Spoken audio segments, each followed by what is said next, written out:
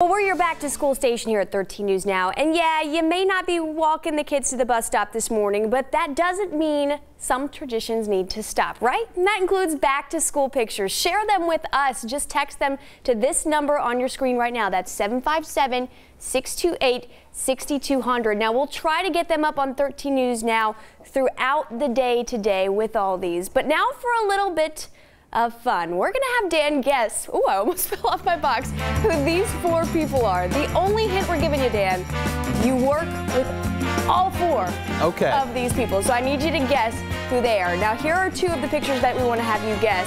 Don't tell Dan, guys. All right, Dan? Okay, who so are these? obviously, I mean, we have Ashley. You can't mistake her smile on the left, right? we have uh, Peyton and her beautiful smile on the right. I'm going to go with, is that Rochelle there? Uh, towards the second. Okay, I might have, is that, hmm, who is that? Can I, can I, I, I know the, I know. Go for it, I- Can I help you out, Dan?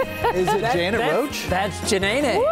Yep, Janet Okay, Roach. I was thinking morning show. All right, sounds good. And then, yeah, those are those two. And I think we had one more picture left. You did. You had one one boy. Um, and it, I was He sure is adorable. he sure isn't is he? a cute little guy. I was just surprised it, it was a color picture. I thought it was going to be black, black and white. Yeah. So if you didn't guess, it I'm was done. I'm Ash- done. I'm done. All Ashley right. Smith, Craig Muller, Janet Roach, and Peyton Domschke. You did pretty great. But yeah, that. Sorry. It's out of He could, love. he could he could have said he was surprised it wasn't a tin type. I mean, at least you were going that we had film back in the day.